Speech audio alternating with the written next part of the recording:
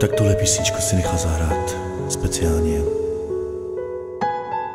Na přání do Plzně Martin Červeňák, alias Ryba. Pro svoji milovanou ženu Martinu k jejím výročí svatby a pro jejich milované tři dcery.